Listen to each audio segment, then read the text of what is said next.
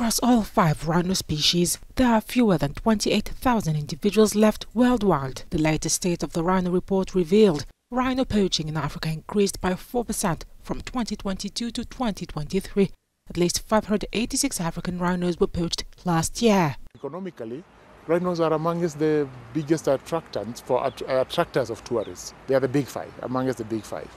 Uh, there are also reasons, social and cultural, why we want to maintain rhinos. Can you imagine an Africa without rhinos?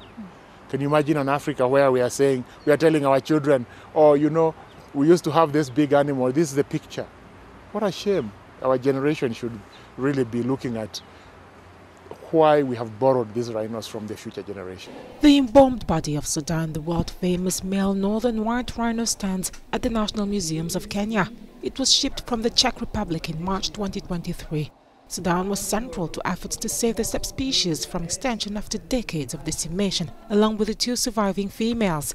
Some scientists hope to preserve the northern white rhino subspecies using stored semen from dead rhinos. So we expect uh, northern white rhino behind us here is going to live for one or two centuries to be able to tell its story for generations to come. And I think this is important so that our, our, our, next generation will be able to judge us on the steps we take to keep, to keep our heritage for them. Kenya's white rhino population grew from 380 in 1986 to 1,000.